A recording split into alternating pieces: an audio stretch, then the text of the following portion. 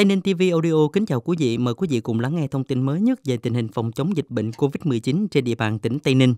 Thông tin từ Thường trực Sở Chỉ huy Phòng chống dịch COVID-19 tỉnh, cập nhật từ 18 giờ ngày 5 tháng 9 đến 18 giờ ngày 6 tháng 9 năm 2021. Tây Ninh ghi nhận 65 ca dương tính với virus SARS-CoV-2, giảm 110 ca so với ngày 5 tháng 9. Phân theo yếu tố dịch tễ, test dương sàng lọc 31 ca, cách ly tập trung 30 ca, trong khu phong tỏa 4 ca.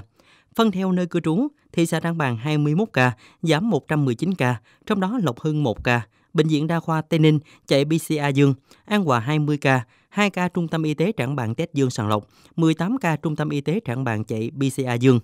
Huyện Châu Thành 10 ca, tăng 2 ca, trong đó Thái Bình 6 ca, trung tâm y tế Châu Thành test dương sàng lọc, An Cơ 4 ca, 3 ca trung tâm y tế Tân Biên test dương trong khu cách ly, 1 ca trung tâm y tế Châu Thành test dương sàng lọc. Huyện Tân Biên 7 ca, tăng 4 ca, trong đó Hòa Hiệp 3 ca, Trung tâm Y tế Tân Biên test dương trong khu cách ly, Tân Phong 3 ca, Trung tâm Y tế Tân Biên test dương trong khu cách ly, thị trấn Tân Biên 1 ca, Bệnh viện Lê Ngọc Tùng test dương sàng lọc, huyện Dương Minh Châu 7 ca, tăng 1 ca, trong đó Bầu Năng 4 ca, Bệnh viện Đa khoa Tây Ninh chạy PCR dương trong khu phong tỏa, thị trấn Dương Minh Châu 1 ca, Bệnh viện Đa khoa Tây Ninh chạy PCR dương trong khu phong tỏa, Phước Minh 2 ca, Trung tâm Y tế Dương Minh Châu test dương sàng lọc, thị xã Hòa Thành 7 ca, tăng 7 ca, trong đó Hiệp Tân 1 ca, Bệnh viện Đa khoa Tây Ninh chạy PCR dương, Long Thành Nam 1 ca, Bệnh viện Đa khoa Tây Ninh chạy PCR dương, Long Thành Trung 2 ca, Bệnh viện Đa khoa Tây Ninh chạy PCR dương trong khu cách ly, Trường Tây 3 ca, Bệnh viện Đa khoa Tây Ninh chạy PCR dương trong khu cách ly, huyện Tân Châu 6 ca giảm 1 ca,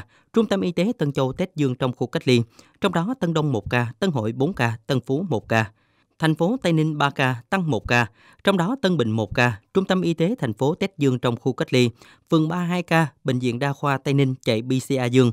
Huyện Gò Dầu 2 ca không tăng giảm, Trung tâm Y tế Gò Dầu Tết dương sàng lọc, trong đó Thanh Phước 1 ca, thị trấn Gò Dầu 1 ca. Ngoài tỉnh 2 ca, Trung tâm Y tế Tân Biên Tết dương trong khu cách ly. Tính từ đầu dịch đến thời điểm hiện tại, tổng số bệnh nhân mắc COVID-19 6.854 ca, đang điều trị 1.750 ca, đã điều trị khỏi xuất viện 5.003 ca, trong đó ngày 6 tháng 9 là 235 ca, tử vong 101 ca, trong đó ngày 6 tháng 9 là 3 ca. Một số thông tin khác, Tính đến ngày 6 tháng 9 năm 2021, tỉnh đã thiết lập tổng cộng 632 vùng phong tỏa, trong đó đang phong tỏa 212 vùng, 420 vùng đã kết thúc phong tỏa tình hình an ninh trật tự trong thực hiện giãn cách của các địa phương. Trong ngày 6 tháng 9, lực lượng công an các cấp đã tuần tra kiểm soát việc chấp hành giãn cách xã hội theo chỉ thị 16 của Thủ tướng Chính phủ trên địa bàn tỉnh. Kết quả đã phát hiện lập biên bản vi phạm 69 trường hợp. Từ khi thực hiện chỉ thị 16 của Thủ tướng Chính phủ, lập biên bản xử phạt vi phạm hành chính 8.987 trường hợp